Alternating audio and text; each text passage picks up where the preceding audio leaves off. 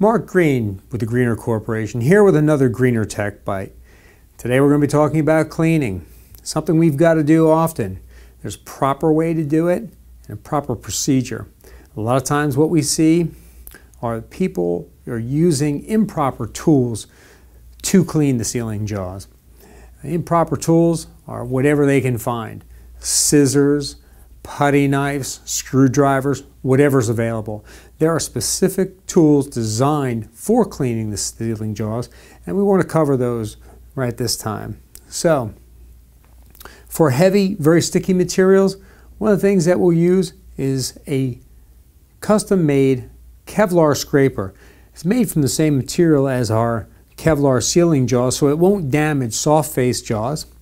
It has serrations ground that match the serrations in your sealing jaws and it's made for cleaning up very heavy impacted product very quickly.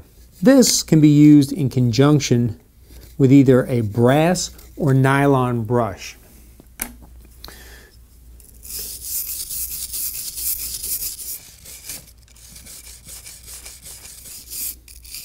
If you have metal jaws, Scotch-Brite pad, also works pretty well. Wouldn't recommend it on a soft face jaw, but on metal surfaces, very good for cleaning as well.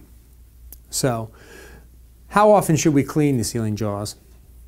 Anytime they come in contact with product. We also have to clean the lower jaw as well as the upper jaw. It's a little bit more difficult to get at the lower jaw, but we have to clean both. Very important that we secure our tools when they're not in use so they don't end up on the feed belt and into the sealing jaws causing damage. Also want to take a moment and talk about sanitation.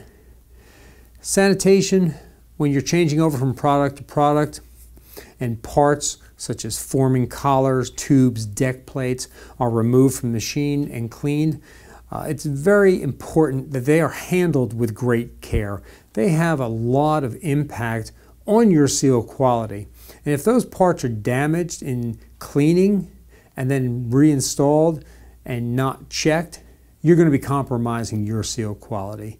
So keep your sealing jaws clean, clean them as often as is practical, and whenever there are contaminants introduced into the sealing jaws. And do clean them with the proper tools, not hard metal objects that are going to cause damage to your sealing jaws.